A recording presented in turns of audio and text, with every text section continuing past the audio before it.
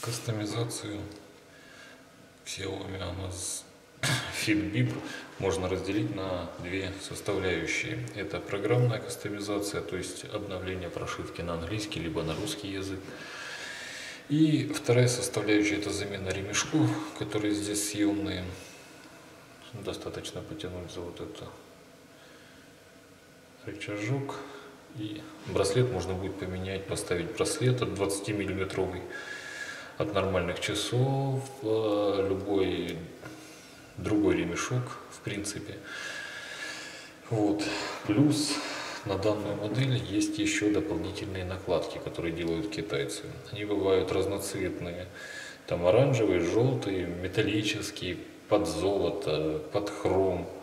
Вот, то есть, ну, это как бы усиливает сам этот бампер, защищает его от э, повреждений. Ну и как бы и частично немного будет возвышаться над стеклом.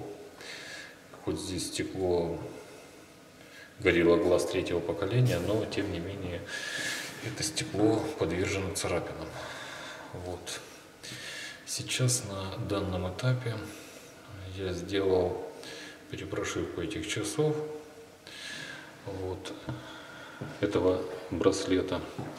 И здесь уже у меня стоит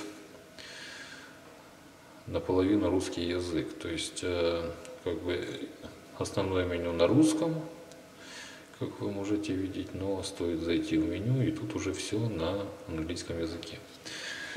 Вот. В принципе, новые прошивки обновления выходят на этот браслет. Здесь можно выбрать кучу дополнительных циферблатов, но этот циферблат как бы я считаю лучшим, потому что он отображает то, что мне нужно.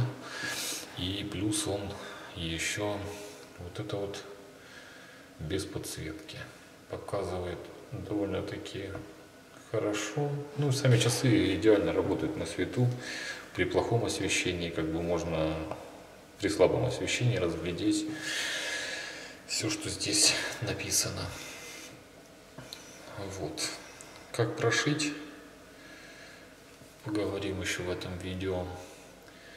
Для того, чтобы прошить, нам понадобится скачать два файла прошивки, одну программу, один файловый менеджер, ну и архиватор.